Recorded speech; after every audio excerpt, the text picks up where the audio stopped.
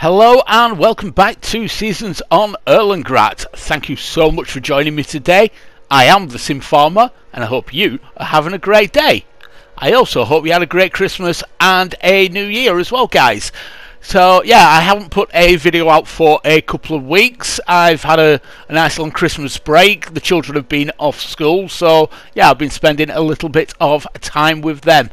And yeah, I'm hoping to jump in this week and start again with three, four videos a week. But yeah, as most people probably know, England has been put into a national lockdown, so the kids are still home from school and yeah, I don't know exactly when they're going to be back. So at the moment, I'm expecting to be getting one or two videos out a week. But yeah, thanks for bearing with me and continuing to watch them. I really, really appreciate that, guys. So we have just fed the pigs. And yeah, I fed all the animals already this morning. I've watered them all. They've all got straw and they are all clean and tidy. So yeah, all the animals are nice and happy. So what else have we got in store today? Well, we've got some weeding to do. All three of my fields need weeding. They are going to get sprayed with herbicide so that will get rid of any weeds that we've got and it will also stop any more coming through so that'll be great for the weeds and we don't need to worry about those again also we have got one more field to finish off fertilizing now as it was a couple of weeks ago I can't really remember the last time I fertilized it was either just before or just after actually putting the crop in. It was the sunflowers. Now, if it was just after putting the crop in, I'm going to have to wait to give that field the last fertilisation as the crop hasn't come through the soil as yet. But I am going to buy a muck spreader, a manure spreader to do that. And yeah, I will buy that today, even if I don't get to use it today. So we are in the Axion 870 and that is what we are going to use to do the weeding. First of all though, I need to get some uh, narrow tyres, some care tyres put on because the wheat I think is in the second stage of growth and if I go through that with these wide tyres on then all I'm going to do is damage the crop. So let's get to the narrow tyres. Oh, I'm hoping it's... Ah, okay, I don't think they've got wide tyres for this. Sorry, narrow tyres. Okay, I thought they did. Do you know what? It's because I've got the... Yes, I have. I've got the Mitas tyres on. I needed the Michelin. So, yeah, there we go. Now, have they got a double wide tyre? I can't... A twin wide tyre. I keep saying wide, I mean narrow I don't think they have. They've just got the, the single narrow tyres. But yeah, that will do fine. That will basically stop me from from destroying my crop as I'm driving through it, which is great.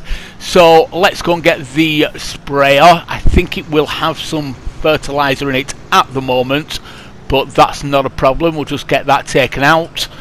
And we've got plenty of herbicide to be going along with.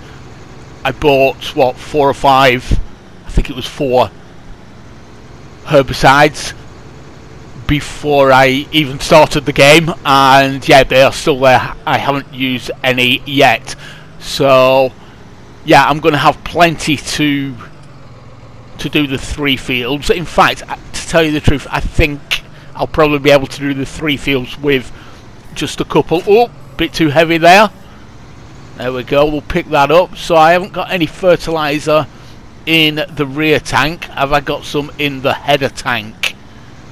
Can't really remember. As I said, it's just over two weeks ago since I was on this save game. So, and yes, so we've got some fertiliser in the header tank. So I'll get that taken out and get filled up with herbicide. And I think that should be enough to do the three fields we'll have to wait and see. So I'll just offload that here. There we go. And we'll turn around and what have I got? Yeah, it looks, is it four herbicide tanks there?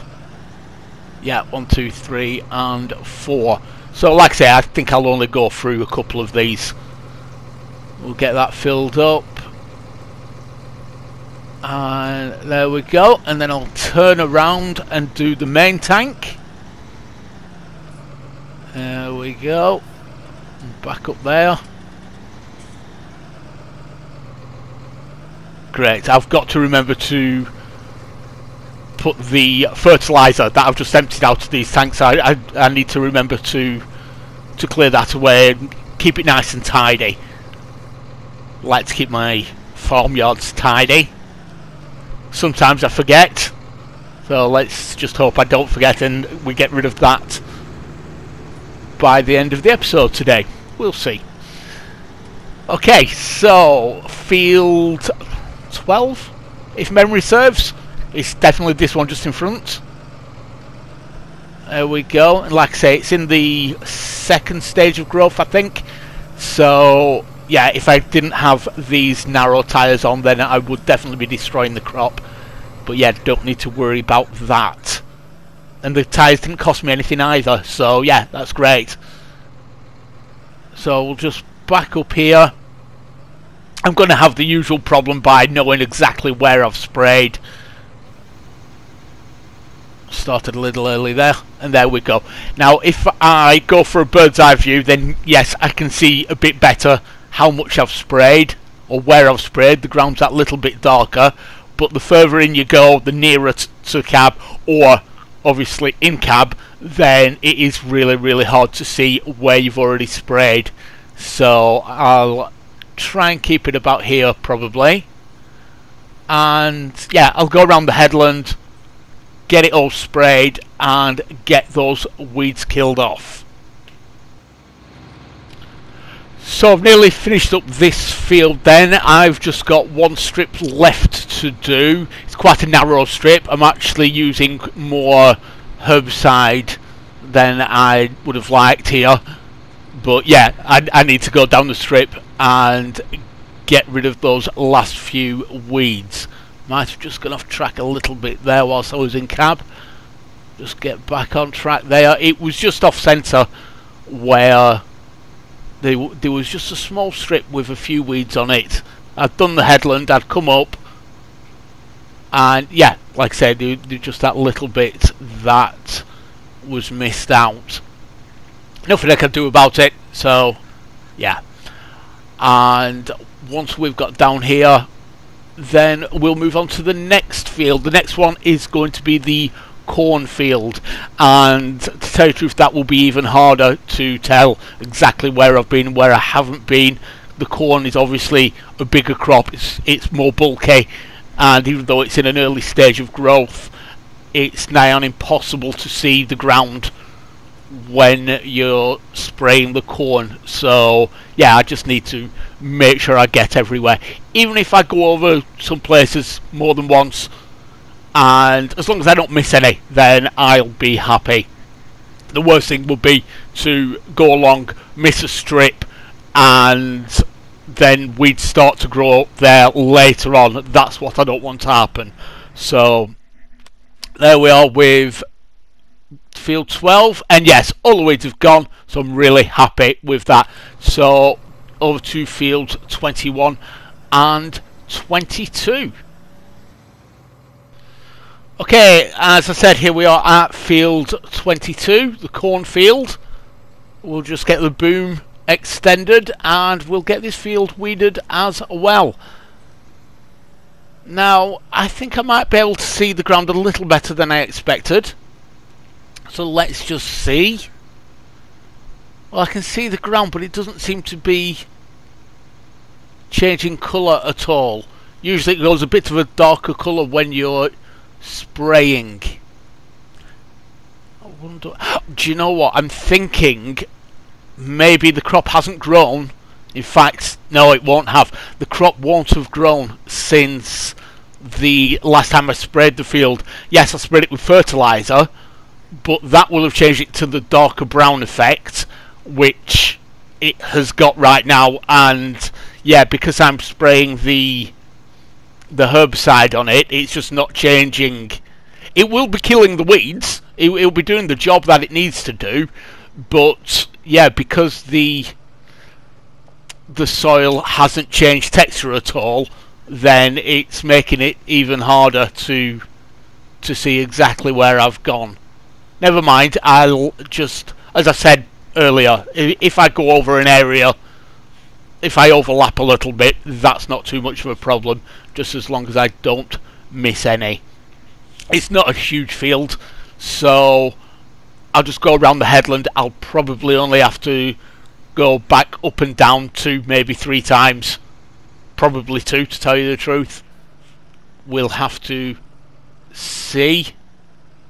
But yeah, I'll have to bear that in mind for the future. It would have been a lot, lot easier. Yeah, I, I can't see at all any any markings at all where I've sprayed. So yeah, it would have been a lot easier if I'd waited for one more crop growth stage.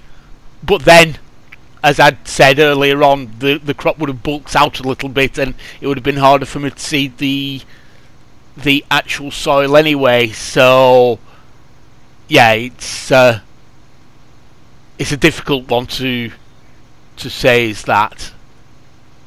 But yeah, I've uh, I'm quite happy with what how we're getting on here, and we'll get the get rid of the weeds. That's the main thing. And I think I've got enough herbicide left in the tanks to do both this and Field 21. Field 21 will be much much easier because as you can see the crop hasn't come through yet.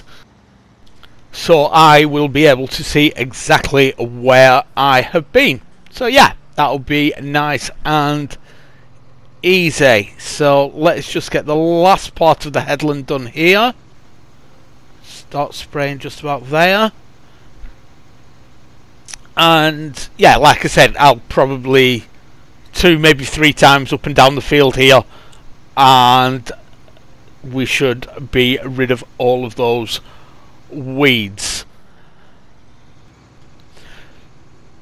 So, once I've finished up the weeding, as I've said, I want to get field 21 finished with the fertilizer, but I, thinking about it, I am pretty sure that I did the last fertilizing after I planted the sunflowers, so I am going to wait for the the crop to come through the ground and then I'll, I'll get that done.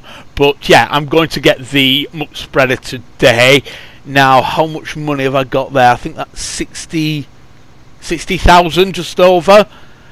And I've been having a look at the muck spreaders. Um, I want a good capacity one. They can go through the manure so so quickly. I don't want to have to keep coming back to and fro from the field to the farmyard. So I want to get a, a quite high capacity one, and it can cost a bob or two, to tell you the truth. Uh, the one I was looking at, well, there was one at I think it was sixty nine thousand and the other one was 99,000. I'm still unsure on which to go for, but I'm I'm swaying towards the 99,000. That was, I think, 32,000 litre capacity off the top of my head. And yeah, I should be able to get one of these fields done with that no problem. And yeah, I won't have to keep going back to the yard and refilling. So I'm going to get that today, but obviously I haven't got enough money. So I'm going to use some of the milk. I've got, I don't know how much milk I've got, over 100,000 litres. And yeah, I'm going to get that sold. Not all of it, I don't need to sell it all straight away. And yeah, I'll, I'll just sell one or two tanker loads of that. And that should quite easily pay for the muck spreader and probably leave me some left over. So that's all of the weeds on field 21 gone, but I'm pretty sure I haven't spread this part ju just here. So yeah, that's probably just they haven't had any weeds coming through here just yet. But if I don't spread it, spray it, should I say, then yeah, the weeds will come through. So I'll just finish off here, and that should be that. And I shouldn't have to worry about either this field or field 12 again until harvest time. Looking at the weather forecast though, I think I will have to worry about them a lot during harvest time because it just looks like rain after rain after rain. So, yeah, I don't know how I'm going to cope with that. I have got a big harvester with big headers. You know, I went for those specifically because I knew that this geo that I'm using had a wet autumn, a wet harvest season. So, yeah, I thought the big, the bigger the harvester, the bigger the header, the quicker I'm going to get the job done. If I've only got a short window of time to get the harvest in, then yeah, that's why I've gone for the the largest equipment I could get my hands on. So yeah, and I'm still a little bit worried about it there, to tell you the truth, because it takes quite some time after a rainstorm for the the crop to dry out, and I really can't see much of much dry spells during the summer and, and, and the autumn. So yeah, we'll just have to see how it goes. But I'm I'm really dreading having three fields of withered crop because they were all wet. Now, there is one thing I have been thinking about to do with that, and I've never really thought about it. I've never really tried it before. I have been thinking about it because I I knew that I had a a wet wet geo that I was using on here, with the forage harvesters, I don't know. I, I I'll be honest, I haven't used them that often. With the forage harvesters, can you can, can, can you do it when it when it's wet? I know with a combine harvester you can't, but with a forage harvester, if you can do it when it's wet, then worst case scenario would be my crops are all too wet and they're staying wet throughout the the harvest season. And if it's obvious when they get to the final stage before they get withered if they are still wet then and it's obvious that they're not going to dry do I get a forage harvester and and turn it all into into chaff then yeah, I'll be able to sell all all of that. Obviously, I'd have to put it into a silage bunker first and get it fermented, but I'd be able to sell it all, and obviously then I'd have to buy pig food because that's what these three crops are for. They're not here to be sold at all. I've got the wheat, I've got the corn, and I've got the the sunflowers but rather than losing the crop completely, I'm thinking I might be able to change it all into silage, sell it at the BGA, with that money buy pig food, and of course have some digestate as well from that. I don't know if that's possible, so if anybody who is watching this actually knows whether I'd be able to do that, I would really, really appreciate you letting me know down in the comments because it is something that I am thinking about. As I said, knowing that I've got this this geo on where I'm going to have a very very small window of opportunity to do the harvesting. So nearly done here. One or two more up and down the field and yeah as we can see this field is much much easier to do it's just basically painted in the the areas. It's yeah, very very very easy. So, but I, I am going to leave the the manure spreading as as I mentioned earlier, just until the crop starts to come through the ground, and then I know I won't be wasting it, and I I know it will be getting that third fertilization state. So yeah, it's just missing a bit there.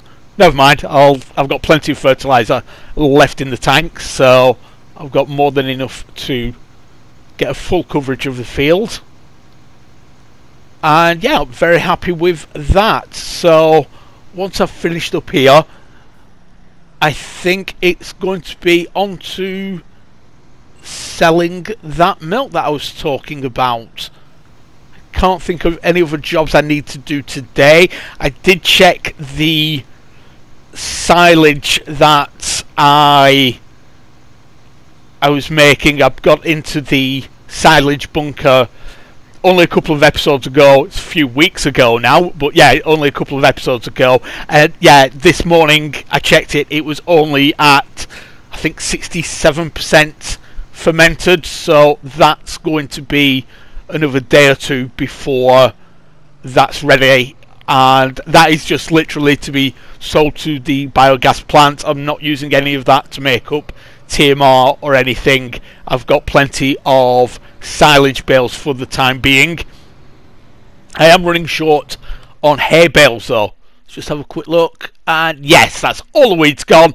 So yeah, happy about that. As I was saying, I am running a little bit short on the hay bales. So depending on how quickly the grass grows and the weather forecast, as I've said, you know, we, we, we've got a very wet geo, and I don't know if I'm going to have the drying time for for hay.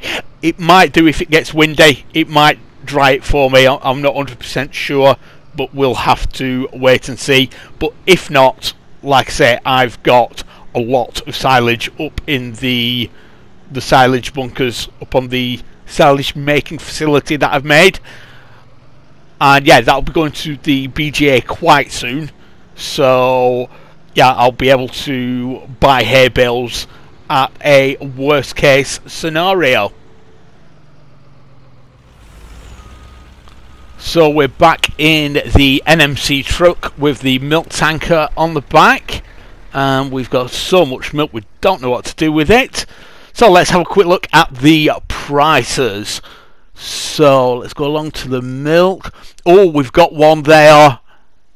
1,438. Okay, at the chocolatiers. So yeah, that's on. In fact, yeah, it's just there next to the next to the shop. Yeah, so that's quite easy to get to, and yeah, that is a great price, and it will hold that price. So actually, I might I might sell two loads. I was thinking only one load.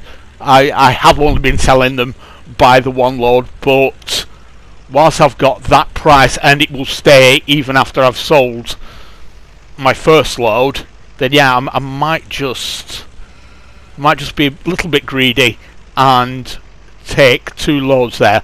Let's see how much money I make from this first load. It's definitely going to be enough to buy the the manure spreader, but we'll see. Just coming up to the chocolatiers now. I think it's just in here. I think. It looks like there's a couple of entrances here. I haven't been in here before, so I'm not 100% sure. A little bit tight for the for the Arctic, but never mind. I'm in there, no problem. And yeah, there we go. That's there's a milk sell point. So 32,000 litres of milk. Uh, what was it? 1,400 and something. That's going to be 40 odd thousand, isn't it? Nearly 50,000 maybe I'll be making here. So yeah, we've got to be happy with that. And it's only what 99,000 for the the manure spreader that I want, and we've just hit that there. So yeah, we've got plenty. But I am going to be greedy and go for another load as well. 46,000 I've just made off that. So yeah, I'd, uh, I'd be daft not to make as much money as I could. So back here for the second time and as you can see I've nearly emptied the milk tanker, and yeah, we're making another 46,000, I think it should be. There we go, 46,031. So yeah, really, really happy with that. And we'll get the the truck and the tanker back to the yard and then yeah I think it's off to buy the manure spreader just coming up to the shop then just pull in here I think it's meant to be an exit only never mind and yeah haven't bought the manure spreader yet so there we go as the one we want. Nice large capacity, 32,000 litres, and it's going to cost 99,000 euros. Do we want that? Yes, we do. Thank you very much. There we go. Let's just get underneath it. And yeah, it's parked up quite close to the parked cars. That is a problem with a lot of maps. I'll be honest with you, not not just this one. I find sometimes when the the positioning of the new vehicles can be a little bit awkward. Not too bad with this one. I seem to remember when I bought the the NMC truck and the milk tanker, I had quite a lot of fun getting it out of here. I actually had to use the the truck to nudge the milk tanker around a little bit completely unrealistic, obviously. But yeah, I had to nudge it around a little bit just so I could get the truck underneath and pull away. But yeah, obviously I w- I wouldn't put that on a video. But there you go, that's what I had to do for that. But not too bad with the manure spreader, we've got that now. And we'll get it back to the yard and filled up with manure ready to go. Now it is the last day of spring today, so I'm thinking that the sunflowers will probably come through the ground tomorrow, first day of summer.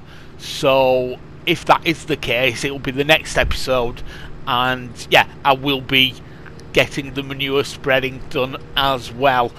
And hopefully, hopefully that silage will be ready to transport to the BGA as well. So, yeah, that's hopefully what we'll be doing in the very near future. For now, as I said, we're just going to load up the manure spreader. We'll use the telehandler and the, the lightweight bucket, 7,000 and something litre capacity. So yeah, it's not going to take me very long to get this filled up at all.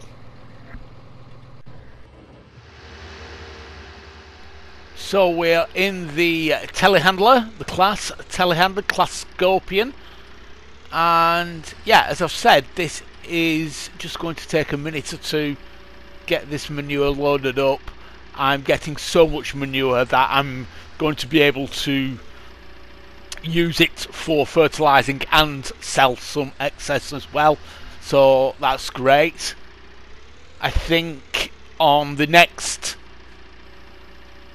on the next cycle, the, well, after harvest, and I start to fertilize the fields again and what have you. I think I'll start with manure that time and then go on to onto the chemical fertilizer as we need to do now on precision farming I think that's a little bit more realistic.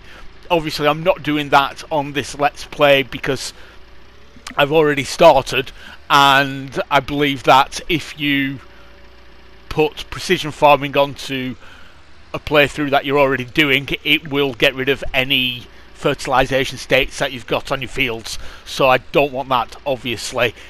Uh, but yeah, I will be putting that on to the next Let's Play I'm doing waiting for, I've mentioned many a times, waiting for Chellington Valley by Oxygen David. Really, really looking forward to that coming out. And yeah, I'm thinking about doing precision farming seasons and maybe even on hard difficulty on, on, on the economy for that one, making it real tough let's play for me and see how we can do on that. So, okay, that's a couple of loads in there. I think it'll only be three more, and that should do it. Nearly there now with what should be the last load. Let's just see. Well, it is good the last load. You can actually see there the, manure is actually showing on the top, but I think I'll just be able to get a little bit more in there. So that is what I'm going to do. I, I really doubt I'll fit very much in at all. Let's just see.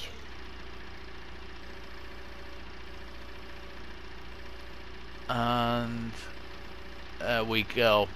Yeah, just about there. Okay, so that's the manure trailer full, the manure spreader full, should I say. And I just need to empty what I've got left in the bucket here. I'll get the Scorpion parked up. And I'm just wondering where to put the the manure spreader. I've got quite a lot of storage areas, but yeah, I, I, seem to be filling them up quite quickly. I have got a lot of equipment, so yeah. And as we can see, it's also started to rain. It was due to start at 12 o'clock, so just a little bit early. Not too bad. And yeah, then it stops raining and it's raining again tonight. But as I've mentioned, we are on quite a, a wet geo here, which I think is quite suitable for the Alps. So not that I'm a weather expert for the Alps, so it's just my thoughts there. So, yeah. Okay. So, I am just looking for somewhere to park the manure spreader. I have actually got a lot of room. It's just I've not been very efficient with it. I've got my equipment quite spaced out as you can see here. And I think in real life, any company, any business would have their their equipment closer together parts a little bit tighter up to make more of the room that they have got. So, like I say, I've got a lot of room, so I, I just started being a little bit inefficient with it, but maybe I'm going to have to start being a bit more realistic and parking my equipment up a bit better. I think it is in the sheds here, but yeah, not under the under the shelter there. So yeah, it's a bit more efficiently parked in here, but yeah, we'll see. Okay, so we'll get the Claas parked up in out of the rain. There we go, that will do just about there. So, guys, I think we are just about done for today's video. I hope you've enjoyed it. If you have, I really appreciate a like. If you're not already subscribed, you may want to think about doing so so you don't miss any more of our videos. Guys, Thank you so much for watching. Have an amazing day.